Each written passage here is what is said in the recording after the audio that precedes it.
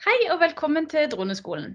I dag skal du få del to av eh, praten vi hadde med våre foto- og filmkonkurransevinnere. Og i dag skal de snakke om redigering og gi oss masse gode tips på det. Så la oss bare sette i gang. Sånn. Ja, da har vi kommet til del to av uh, praten med våre vinnere av uh, film- og fotokonkurransen. Um, og denne del to så skal vi fokusere om redigering. Så Jørn, du kan jo bare ta en kort introduksjon av deg sjøl igjen, bare for de som ikke, hvis ikke de fikk med seg første, første delen av programmet. Bare ta en kort. Ja, nei, det var uh, Jørn Arket Omre. Jobber som fotograf. Har gjort det i en årrekke. Eh, og eh, fikk interesse for drone eh, for noen år siden, og har hatt egen drone de siste tre årene. Da. Mm. Eh, ja, jobber med vesentlig landskap har gjort tidligere, og eh, overfører det da de kunnskapene til drone. Mm. Og eh, til den måten å kanskje komponere og eh, velge utsnitt i landskap da, med, med drone for å få nye perspektiver. da. Mm. Så når bildet er tatt, da, så, så, så sitter man jo igjen med bildefil. Og hva gjør man videre da? Og da kommer man jo inn på det med bilderedigering. da. Ja. Så da har man jo en minnebrikke i, i drona som man tar ut. I hvert fall bruker jeg å gjøre det. Og setter den inn i minnekortleser. Og så bruker jeg Photoshop eh, og henter opp eh, råfilen. Jeg tar alltid alle opptakene i råfil. eh, Gjerne kanskje råfil og JPEG. Men i hvert fall råfilen som jeg kan etterbehandle. Og jeg tar den opp i Bridge og i råfilkonverter. Og så bearbeide filene der, sånn i forhold til histogrammet, som er veldig viktig. Histogrammet det er liksom avgjørende for alle bilder. At man på en måte skal ligge med informasjon da, innenfor A og B, som på en måte er A det er til venstre, B er til høyre i et histogram. Og så skal eh, informasjonen ligge på en, en, en eh, kurve inni det eh, vinduet du får opp. da. Eh, og det, får du da, det går jo gjennom på hele eh, si redigeringsprosessen. Også på opptaket kan du også følge med på histogrammet. da. Men i hvert fall så når, når det er innenfor, så er det kanskje å eh, legge til farger, kontraster, og gjøre det så mye du kan gjøre på, i råfila, som da påvirker pikslene minst mulig. Og når jeg da får det opp i Photoshop etterpå, så blir liksom finpussen der. eh, Og så si, velger jeg kanskje utsnittet da, når jeg kommer i Photoshop, hvis jeg må beskjære bildet noe. Beskjære så lite som mulig, for målet er jo å ta så stort utsnitt som mulig for at du kan bruke bildet enten i form av at det skal printes, eller i andre sammenhenger hvor det krever at det er kvalitet i bildet. da. Mm. Så lager jeg bildet som en TIFF-fil. Og så lager jeg det som en, også i en sånn presentasjonsfil i JPEG da, som jeg kan sende fra meg hvis det er noen som uh, har ønsker å se bilder osv. Mm. Uh, med copyright på JPEG-en som jeg sender fra meg, sånn at uh, på en måte bildet tilhører meg, så ingen kan bruke det. da. Mm. Hvis man bryter copyright-reglene, så må man jo selvfølgelig betale for det. Ja visst. Straffes. Men i hvert fall, så det er liksom selve arbeidsflyten min. da, og Da sitter jeg jo igjen med, da, med eh, to bildefiler, en TIFF og en JPEG. Og da sitter jeg egentlig. Så det er ikke så veldig vanskelig, men man må her, må, under selve opptaket så må man kunne bildebehandle. da. Mm. Og ta et bra bilde, men hvis du ikke gjør noe med det etterpå, så, så blir det sånn halvveis. da. Og Kjører du på auto hele veien, så vil du miste veldig mye informasjon. Og da er det på en måte drona eller kamera og opptakssituasjon som bestemmer hva slags eh, ja, farger og kontraster bildet vil gi deg. da. Så du må ta råfilopptak og bearbeide filene og lagre tid for JPG etterpå. Mm. Ja. Eh, Markus, bare ta en kort intro av deg sjøl, og så kan du gå videre med redigering. Yes, eh, Markus, eh, 25 år fra Drammen. Bor eh, foreløpig eller nå bor jeg i Oslo, hvor jeg studerer entreprenørskap og holder på med litt eh, dronevideo på si. Eh, når det kommer til eh, den workflowen, eh, det er jo et par ting som eh, kunne vært nevnt også i, i forrige session. Men det har litt med, med post-production å gjøre òg, og det er jo filme i høyest mulig oppløsning for at man skal kunne eh, kloppe bildet, zoome inn i bildet der det eventuelt er nødvendig. Uh, ulempen med høy uh, oppløsning, f.eks. 4K eller, eller høyere, er jo at man får enorme filer å jobbe med. Det krever jo prosessorkraft fra PC, og det krever at man har minnepenner som uh, har, kan lagre mange gigabyte. Um, men hvis man først har mulighet til det, så film med høyest mulig oppløsning, for det gir mer muligheter i etterarbeidet til å zoome inn i bildet uten at man uh, får et uskarpt bilde. da.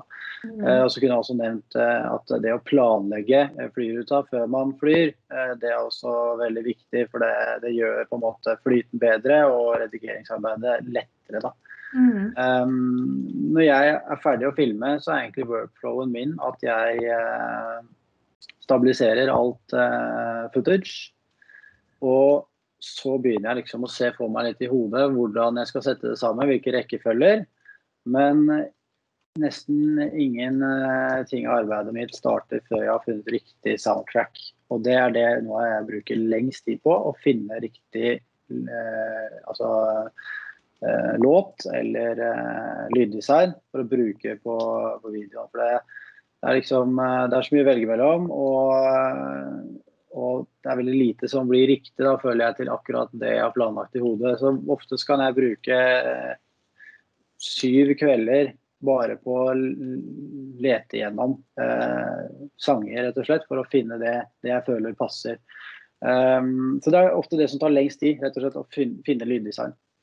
Uh, når jeg har gjort det, så går det egentlig mye raskere. For da har jeg på en måte lagd en litt komposisjon uh, med tanke på hvilke klipp som skal være når. Uh, og så blir det egentlig bare lyden som bestemmer når jeg klipper, og lyden som bestemmer litt speedrams og litt overganger og hvordan det skal foregå. Da. Så det kommer faller litt naturlig.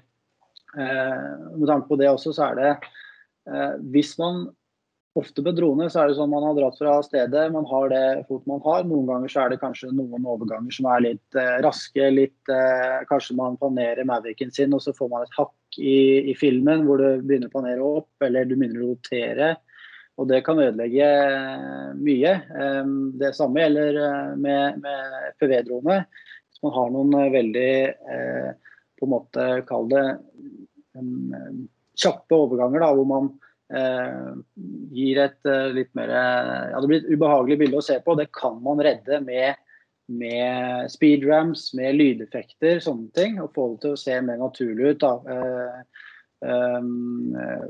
F.eks. at man har man legger opp til at musikken, at det er en beat som skjer akkurat idet man har en, en overgang i f.eks. paneringa, eller at det er noe kjappere som skjer, skjer i bildet. Um, litt klønete forklart, men jeg tror kanskje det går an å få noe ut av det. Uh, ellers er det ikke så veldig avansert redigering jeg driver med. Det er noe jeg jobber mye med for å bli bedre på. Uh, og da er det en ting som jeg har lært meg uh, som er veldig viktig, og det er at man lærer seg bruk av en ny effekt. Ikke overdriv den, for det er en veldig vanlig feil. Lærer seg en ny ting, og så bare bruker man det på alt fordi man syns det er kult. Men uh, man må være litt sånn uh, sparsom. Uh, less is more som regel også når man kommer til videoredigering. Mm. og det er hovedsakelig shotsa som skal være bra, og redigeringa skal på en måte bare løfte det. da. Mm. samme gjelder lyd. Um, så er det en veldig viktig ting, og det er color grading. Eh, der har jeg også mye å jobbe med framover. De fleste bruker jo bare noe som heter LUTs, bare drag and drop. Man, eh, ja, og igjen, veldig viktig. Skal man bruke Skal man få noe ut av color grading, så må man filme. Da må man ha på en setting som heter flat color perspective. Eh, det blir et helt flatt eh, fargeperspektiv som gjør det mye lettere å jobbe med i post production. Eh, men eh, jeg bruker mye drag and droplets. Du bare drar det over på fila, og så er det egentlig ferdig. Og så små justeringer med tanke på eksponering og saturation og den type ting.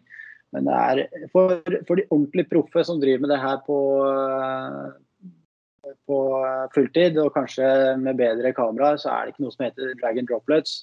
Da må man inn og lære seg de ulike fargekurvene og gjøre dypere forståelse av det. Så det er noe jeg kan anbefale til til alle nybegynnere, er å tidlig eh, gå på YouTube og lære seg det med color grading. For det vil gi dem eh, et overtak på resten, som kanskje er veldig god på redigering og filming generelt. Eh, men etter hvert som mange blir det, og mange er på, på likt nivå, så er color grading et veldig viktig eh, tillegg da, som eh, jeg tror man kan dra fra på hvis man lærer seg det på tidlig stadie å starte tidlig og lære seg color grading og virkelig gå i dypet av det. da. Nå er det Final Cut Pro jeg bruker til min videoredigering, by the way. Ja, det skulle, det var, jeg skulle spørre om det. Final Cut Pro? Mm. OK.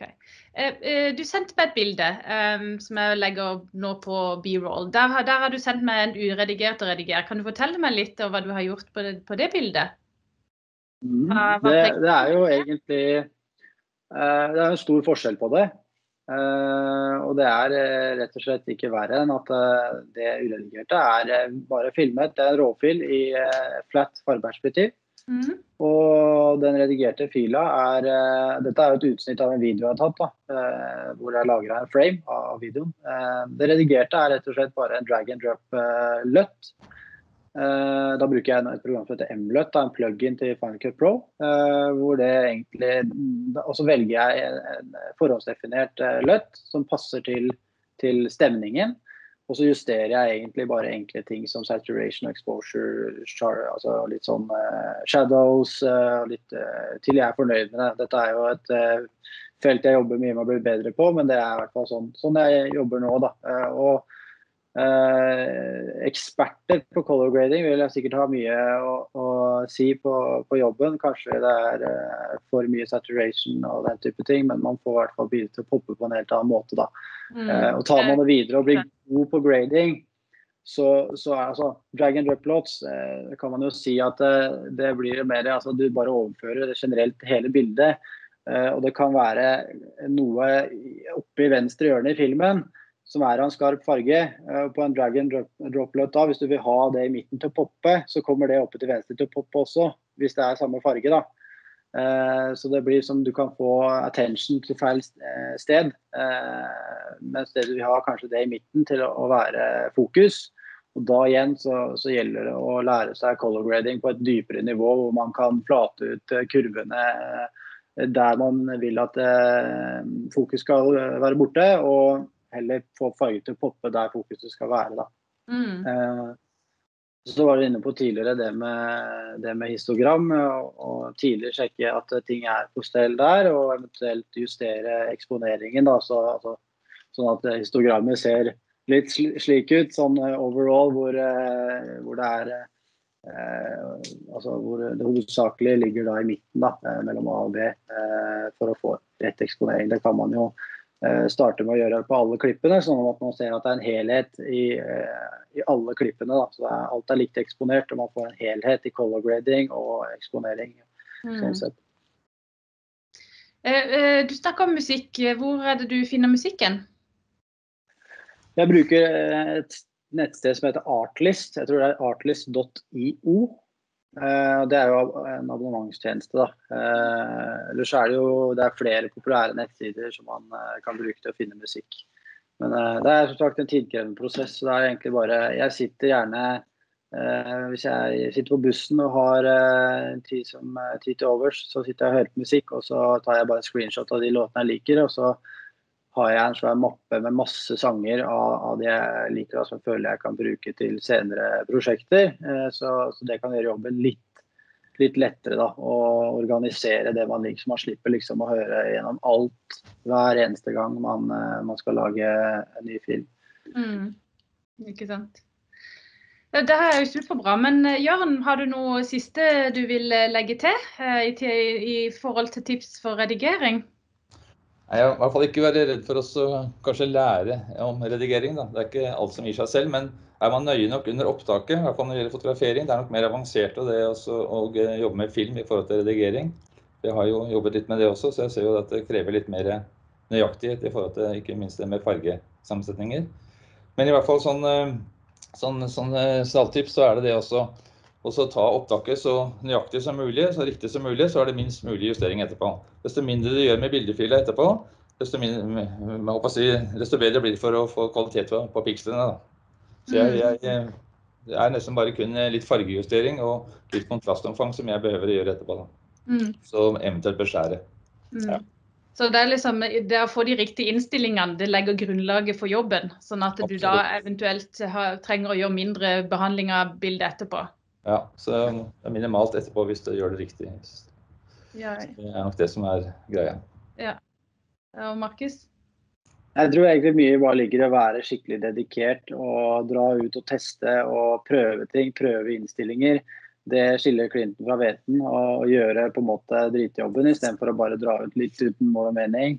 Mm. Hvis det ikke en telefon her, skal jeg bare skru av den der. Eh, Bruke mye tid på å teste innstillinger, bruke mye tid på YouTube, være nysgjerrig og finne ut av hvordan folk gjør ting. eh, istedenfor å bare mm, prøve litt og være fornøyd med det. Eh, for det kommer til å, å skille klint fra hveten til syvende og sist. Mm, ikke sant.